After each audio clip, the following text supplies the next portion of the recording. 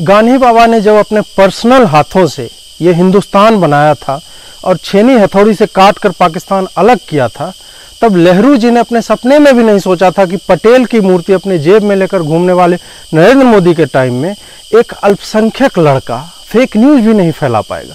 आप ही बताइए कि क्या इस देश में विक्टिम कार्ड स्वाइप करने वालों को सीमित कर दिया जा चुका है? समुदाय और उसके नाम पर बुक्का फाड़ कर डिजिटल रुदन करने वाली बुरका नशी माई चॉइस कन्याएँ, क्या किसी अब्दुल की आरिफ, मुशाहिद, आदिल द्वारा की जाने वाली पिटाई को हिंदुओं के नाम भी नहीं लिख सकती? क्या यही है अच्छे दिन? आप सोचिए कि एक अब्दुल है, कुछ करना चाहता है। शीघ्र पतन, ल्यूकोरिया, अपने जमात की मर्दाना कमज़ोरी और बचपन की नादानियों से होने वाली बीमारियों को दूर करने की बातें, खेत में खड़ी लाल दीवार पर सफ़ेद चूने से लिखकर अलीगढ़ के लाल कुआँ के पास बुलाने की जगह, ताबीज बेचकर चमत्कार करवाने के दावे करता है तो लोग उसे सही राह पर चलने से रोकते हैं। सर्किट और मुन्ना के साथ भी यही हुआ था। जब वो गाँव में खेती करना चाहते थे। जय और वीरू को भी इस बेदर्द जमाने ने इज़्ज़त की रोटी कमाने से रोका था। सतरंगी पाद छोड़ने वाले सींग सुशोभित अश्वों के उड़ने से लेकर टोमेटो सूप को कटोरे के बीच में अलग करने के चमत्कारों की बात सुनकर पला बढ़ा अब्दुल, आखिर ताबीज बेचकर कुछ चमत्कार नहीं बांटेगा तो फिर पुरखों की कलाओं के लुप्त होने पर ऊपर वाले को क्या स्थान विशेष दिखाएगा? ऐसे स्थान विशेष का क्या फ़ायदा जो दिखाने लायक ही ना बची हो? वो बेचारा ताबीज और चमत्कार बेच रहा था। ऐसे में आरिफ, आदिल और मुशाहिद को एक चमत्कार बेचा। वो चमत्कार वैसे ही गिर गया जैसे हकीम उस्मानी के पास आने वाले किसी सलमान का अंग विशेष अब आप ही बताइए आरिफ, आदिल और मुशाहिद को मर्दाना कमज़ोरी थी या उसी टाइप की समस्या तो वो हमारी डॉक्टर अजयता की आयरेड पिल भी इस्तेमाल कर सकते थे। फिर याद आया कि रेगिस्तानी सभ्यताओं में ऊँटों से काम चलाने वाले इंटरनेट पे कहाँ पहुँच पाते हैं। आप कहेंगे कि प्रातः स्मरणीय श्री अजीत भारती जी ब्रो, आप बीच बीच में थोड़ा रेगिस्तान और घोड़ों पे चले जाते हैं। तो ऐसा है ब्रो कि जब हमारे जय श्री राम पर नौटंकी होगी, गौमूत्र के नाम पर चिढ़ाया जाएगा तो ऊँट मूत्र और मर्दाना कमज़ोरी वाले अंग पर हम भी तो लात रखेंगे ही। खैर, आरिफ, आदिल और मुशाहिद की मर्दाना कमज़ोरी को अब्दुल का ताबीज दूर नहीं कर पाया। अब अब्दुल का कहना था कि ताबीज गले में पहनना था, इन लोगों ने कहीं और पहन लिया कि तुरंत असर करे। पर्सनल लॉ वाली अदालत ने कहा कि अब्दुल को इंस्ट्रक्शन सही से बताना चाहिए था। यह कहकर अदालत ने तीनों से ताबीज ये बात कहकर जब्त कर ली कि अंतिम निर्णय आने तक वो अदालत की संपत्ति है, जिसे पर्सनल लॉ वाले स्वयं इस्तेमाल करेंगे और तब तय करेंगे कि ताबीज में समस्या है या इन तीनों के अंग विशेष में। अब आप फिर कहेंगे कि प्रातः स्मरणीय श्री अजीत भारती जी ब्रो, आप आजकल अश्लील होते जा रहे हैं। तो मैं कहूँगा कि इससे ज़्यादा अश्लील बात क्या होगी कि कोई आपके राम को ऐसे इस्तेमाल करता है, आपको गाय के नाम पर ललकारता है और आप नपुंसकों की तरह सुनकर चुप रह जाते हैं। खैर, अब्दुल को तीनों ने मिलकर कूट दिया। कोई कहेगा कि पीटने वाले में एक हिंदू भी तो था। तो ऐसा है कि आजीवन ऐसी ही मूर्खता करते रहोगे तुम लोग।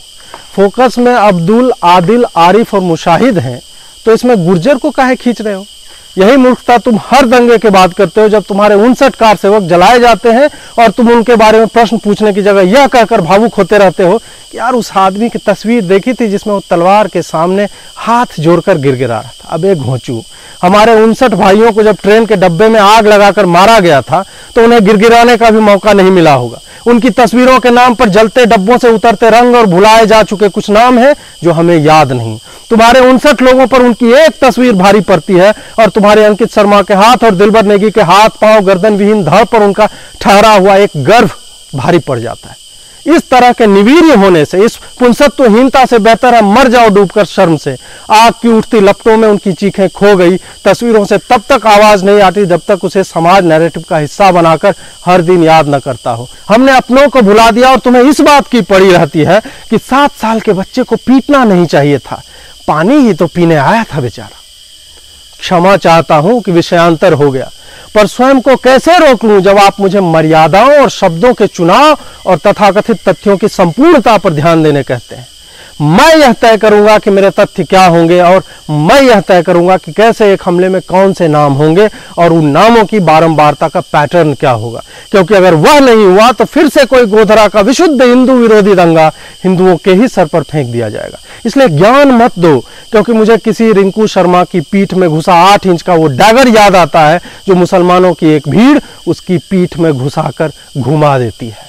शर्म आनी चाहिए कि कोई अब्दुल अपने चमत्कारों के फुस होने पर आरिफ, आदिल और मुशाहिद से लात खाता है, दाढ़ी कटवाता है और हम यह तय करने में लगे हुए हैं यार, एक हिंदू भी तो था उसमें। इस बहत्तर साल के बुढ़े की धूर्तता देखो कि वो अपनी ही कौम के ही लोगों से लात खाने के बाद भी कौम के अंतिम लक्ष्य की तरफ़ अपना योगदान दे रहा है कि उसे तो जय श्री राम बोलने बोला गया था और उसकी दाढ़ी हिंदुओं ने काट। ली अब्दुल अपने मार्ग से डिगा नहीं है, अब्दुल अपने मार्ग से डिगता भी नहीं। अब्दुल कमर पर बम बांधकर बहत्तर हूरों की चाह में लिंग नितंब गवा कर भी जन्नत में सेक्स करने की चाह रखता है और काफिरों के बाज़ार में फट जाता है। और तुम्हें इस बात की पड़ी है, एक बार जाँच हो जाती, जाँच हो जाती। कितनी बार जांचोगे? हर बार ये सारी बातें झूठी निकलती हैं। चाहे गुड़गांव में मेरी टोपी फेंक दी और पीटा वाला कांड हो, या फिर क्रिकेट के मैच में दो बच्चों के झुंड में आपस की लड़ाई, हर बार जय राम का नाम डालकर हिंदुओं में हीन भाव और अपराध वोट डालने की कोशिश की गई। हम भावुक होते रहे इनके चोरों पर और ये हमारा हर बार फ़ायदा उठाते रहे।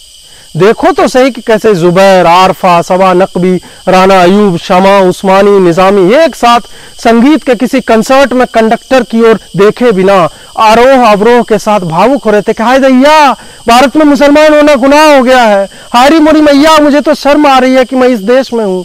क्या मुझे अपना क्रोध दिखाने का हक है कि इस देश में अब्दुल को जय राम कहने पर कूटा गया? चुनाव वाले प्रदेश में हिंदू राष्ट्र ने एक मुसलमान को पीट दिया। शीघ्र पतन की परिभाषा यही है। इन पतितों और इन पतिताओं के ट्वीट पढ़ो, जो एक एक ट्वीट से हिंदुओं के खिलाफ किस तरह से घृणा फैला रहे हैं। जुबैर तो फैक्ट चेकर है, भले ही प्रेम दिवस का फैक्ट चेकर है, लेकिन अब जो भी है तो सही। दाढ़ी काटी और जय श्री राम पढ़कर इनके स्थान विशेष में पुक पुक होने लगते है, जैसे हलाल करते वक्त मुर्गे का होता है। जुब्बू से रहा नहीं गया, या वैचारिक स्खलन रोक नहीं पाया, जुब्बू और ट्विटर पर बह गया, जबकि उस वीडियो का एक हिस्सा म्यूट था। जुब्बू ने नासा प्रदत्त आसमानी सॉफ्टवेयर से भी चेक नहीं किया, क्योंकि शायद अब्दुल अहमद सैफी के दिए ताबीज ने जुब्बू को यह अलौकिक शक्ति दे दी थी कि वो बिना आवाज़ की वीडियो में भी जय श्री राम का जो है गुणगान सुन सकेगा। लेकिन आपको हमारे वीडियो में आवाज़ सुनाई देगी, अगर आप पॉज करके सब्सक्राइब कर लेंगे और कसम खाकर दस दस लोगों से करवा देंगे। क्योंकि प्रातः स्मरणीय श्री अजीत भारती जी जब पंचर पुत्रों की लेते हैं तो लंबे समय तक लेते हैं। आप तो उनका नेचर जानते ही। वो पंचर पुत्र हैं। वो पानी में हवा के बुलबुले देख सकता है। पानी ना हो तो उंगली रखकर ध्यान लगाकर आपके टायर का पंचर ढूंढ देगा। वो कुछ भी कर सकता है, क्योंकि ऐसे लोग बचपन से पहाड़ों पर चमत्कार देखने जाते रहे। कुछ पंचर पुत्र और कुछ खबरों का धंधा करने वालियाँ, या खबरों के कोठों पर बैठकर फेक न्यूज़ के तबले पर थिरकते खाला जाने, इनका पूरा जीवन इसी जहरीले नैरेटिव को बनाने में, इसी खबरों की वेश्यावृत्ति में समाज में बिगटरी और सांप्रदायिकता फैलाने में बीता है। कौमी वर्चस्व की चाह में कौमी विक्टिम कार्ड का दोहरा खेल खेलते ये लोग समाज के कोड़ हैं। इनसे बचकर रहें जनहित में जारी। तो जुबैर और उसके गैंग ने तुरंत ही टूल किट वाले अंदाज में लगभग एक, एक सी मार्मिक भाषा का प्रयोग करते हुए एक म्यूट वीडियो में जय श्री राम सुनते हुए हिंदुओं पर सारा बोझ डाल दिया कि देखो मुसलमानों का जीना दुभर हो गया है। अब हम कहाँ जाएँ? हमें तो जीने की भी आज़ादी नहीं है। स्वरा भास्कर तक को अपना मेन काम छोड़कर ट्वीट करना पड़ गया कि बताइए, दाढ़ी काट ली अब्दुल की। यह भी कमाल की ही बात है कि संघ वाले घर वापसी करवाने के मंत्र और नियम लिखते रह गए और इधर आदिल, आरिफ और मुशाहिद अब्दुल की दाढ़ी काटकर उससे जय राम बुलवा रहा है। यही तो है अच्छे दिन। ऐसे कई अदृश्य जय राम जून 2019 से सुने गए। लगता है कि ऊर्जा के उत्पादन के नियमों के अनुसार अयोध्या के किसी मंदिर में बोले हुए जय श्री राम की ध्वनि ब्रह्मांड में अनंत काल से विचर रही थी और कालांतर में वो अब्दुलों और अहमदों को बिना बात के भी सुनाई दे जाती है। क्योंकि अल्लाह का पाक बंदा झूठ थोड़ी बोलेगा यार। उसने सुना और पाँच वक्त का नमाजी है। जालीदार टोपी पहनता फॉर गॉड से। तो क्या वो झूठ बोलेगा कि उसे जबरन बुलवाया गया? मुझे ताबीज के चमत्कार पर पूरा विश्वास है। आप ही सोचिए कि मुसलम ईमान वाले लोग कभी झूठ बोल सकते हैं क्या? अल तकिया, अल चद्दर, अल रजाई, अल कुर्सी, अल टेबुल, अल स्कोडा, अल लहसुन। कहते हैं कि ऊपर वाले के डंडे में आवाज़ नहीं होती। इस कथन में समस्या यह है कि डिपेंड करता है कि किस धर्म या मज़हब का ऊपर वाला है। इस पर भी डिपेंड करता है कि डंडे से पीटा जा रहा है या कोई और ही विशेष कार्य हो रहा है। खैर पुलिस वालों के पास जो डंडा होता है, वो कानूनी रूप चले तो आवाज़ करती है, लेकिन कई बार वह डंडा तेल पिलाकर कुछ विशेष कार्यों में भी प्रयोग में लाया जाता रहा है। अब देखिए कि गाजियाबाद की पुलिस ने इस फर्जी खबर का खंडन किया और लोगों को सचेत किया कि भैया फेक न्यूज़ मत फैलाओ। लेकिन फेक न्यूज़ फैलाने वाले लोग, जैसे कि जुबैर, आरफा, राणा, सबा, समा, सलमान, ये सब फेक न्यूज़ का यह विज्ञान समझते हैं कि फैलाने में जो मज़ा है और जितनी जल्दी ये फैलाते हैं, जितने लोगों के सामने उसे ट्वीट रिट्यूट की ऐसी बाढ़ आती है कि समाज में हिंदू मुसलमान का काम हो जाता है। जब यूपी पुलिस ने ध्यान दिलाया और ट्विटर पर इनके फैलाए गए रायते पर तबलीगी टाइप की थूथू हुई, तब 21 घंटे बाद माफियों का दौर चला। उसमें भी कंडीशन सप्लाई टाइप की बातें की, अभी तक की जानकारी के हिसाब से ब्ला ब्ला ते ब्ला ब्ला। यूपी पुलिस जब डंडा लेकर निकली तो ट्विटर में भी डाल दिया। अभी तक क्या होता था कि पंचर पुत्रों की ब्रीड और खबरों के धंधे वाली खाला जाने, इस उम्मीद से सांप्रदायिक जहरें उगला करती थी कि किसी को क्या पता चलेगा। चल भी गया तो उनका क्या बिगड़े। वो अपने जहर को टखने तक की लंबाई का वैचारिक स्वतंत्रता वाले पैजामे में वो छुपा लिया करते थे। अब क्या है कि पाजामे का पीलापन अब दिखने लगा है। लोग बाग पकड़ कर पूछने लगते हैं कि ये सुबह सुबह चेहरे की रंगत उड़ी हुई कल रात तुम कहाँ थी बताना सही सही। जब ईमान की सफेदी पर झूठ का पीलापन सुबह दिखने लगा और पुलिस ने पकड़ लिया तो एक लाइन से माफीनामा वो आने लगा कि मेरा ट्वीट तो फलाने रिपोर्ट के आधार पर था। मेरा वाला तो ding dong ding dong ding dong ding dong ding dong करता है। मैं तो कहती हूँ कि जी ट्रूथ प्रिवेल करे जल्दी से जल्दी। मतलब आप सोचिए कि ईश्वर क्या क्या दिन दिखाता है कि राणा अयूब जैसे लोग, जो गोधरा के दंगों पर काल्पनिक कहानियों की किताब लुक चुकी है वो ट्रूथ के प्रिवेल करने की बातें कर रही है। वहीं दूसरी मज़ेदार बात यह हुई कि ट्विटर अपने अलग लाइन पर चल रहा है। उसके एमडी ने कहा कि वो तो सेल्स हेड है और वो ट्विटर के लिए काम करता है कि नहीं, वो भी उसे नहीं मालूम। उसने कहा कि उसे तो अपनी टीम के भी लोगों के नाम नहीं मालूम है। सरकार अलग टेंशन में है कि ट्विटर को सात, आठ बार अंतिम चेतावनी देने और एक से तीन गिनने में बीस दिन गंवाने के बाद भी।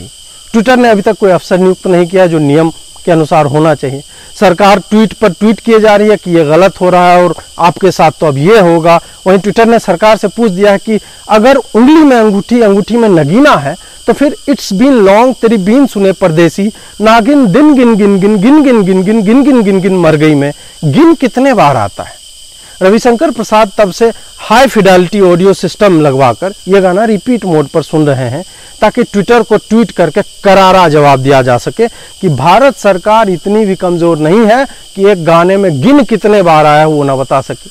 वहीं ट्विटर की चाल यह है कि वो किसी भी स्थिति में जीत जाएगा, क्योंकि अगर हमारी आईटी मिनिस्ट्री के मंत्री जी ने गिन की संख्या ग्यारह बताई तो वो कहेंगे कि नागिन में भी तो गिन आता है।